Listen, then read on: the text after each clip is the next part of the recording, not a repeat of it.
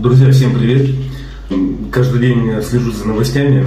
И вот э, видел одну интересную новость и хотел ее рассказать, но, наверное, лучше прочитаю, потому что она очень длинная. Говорят, что это не выдумка. В ночь на 24 октября российские рыбаки на катере нарушили границу Финляндии и были замечены пограничным катером соседнего государства. После продолжительной погони россияне оторвались от преследующего их катера, но заблудились в ночи на сопредельной территории. Лишь к утру, приняв постройки на берегу за российский поселок, они причалили в местной гавани. Будучи в состоянии алкогольного опьянения, россияне не поняли, что находятся в финском поселке Калалахти. При попытке купить продукты в местном магазине все трое россиян были арестованы местным полицейским и доставлены в участок для дальнейших разбирательств. Но это еще не все. Что произошло далее, объяснить ни финская сторона, ни российская не могут.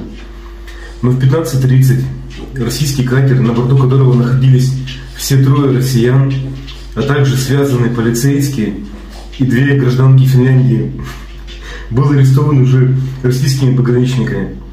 Все находящиеся на катере, включая полицейского, были в состоянии сильного алкогольного опьянения. При этом российский катер опять уходил от погони финской пограничной службы. Освобожденного полицейского и гражданок Финляндии российские пограничники передали финским партнерам. Все три российских рыбака, пребывая в состоянии сильного алкогольного опьянения, показаний о произошедшем инциденте дать не смогли. Единственный полученный комментарий одного из участников, записанный с его слов, был такой. Отмечая день рождения на рыбалке, мы подумали, что это рыбнадзор и решили от него уйти. Что было дальше, я не помню. Короче, финская пограничная служба вынесла ноту протеста. В общем, вот такие вот особенности национальной рыбалки в реальной жизни. Всем пока.